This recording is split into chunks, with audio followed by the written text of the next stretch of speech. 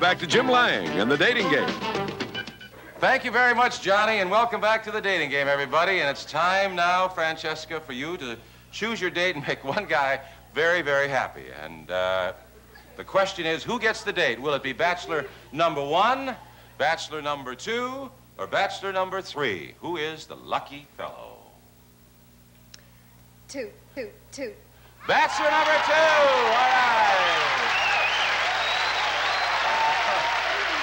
Congratulations to bachelor number two. What is that, number two, your lucky number? No, he, because he has the cucumber farm. Oh, that's right. That's a good answer. he said those were sexy people. Now, before you meet him, I would like you to meet the other bachelors. Bachelor number one is a wild and crazy guy from Plant City, Florida. Say hello to Terry Smith. Terry, come on and say hi, please.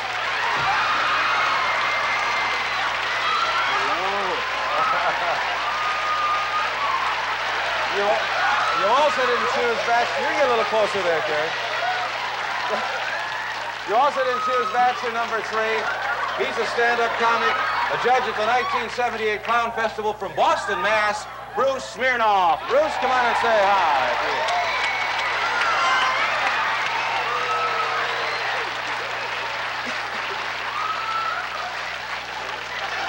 Well, guys, you, you weren't selected. What do you do with that money?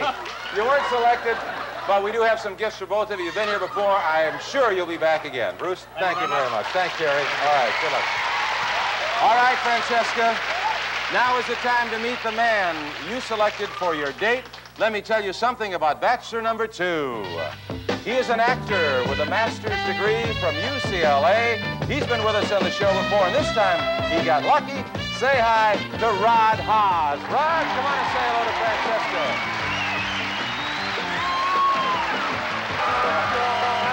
Oh, oh, all right. One shoe off and one shoe on. All right. Rod and Francesca, listen carefully now.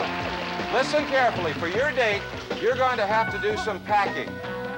And whatever you do, don't forget to include your biggest and best coffee cups. because you're going, listen to this, you're going where they grow the richest mountain coffee in the world, the breathtaking foreign country of Colombia, South America. That's right, you're going to the mile-high capital city of Bogota, a vast panorama of historical beauty and Latin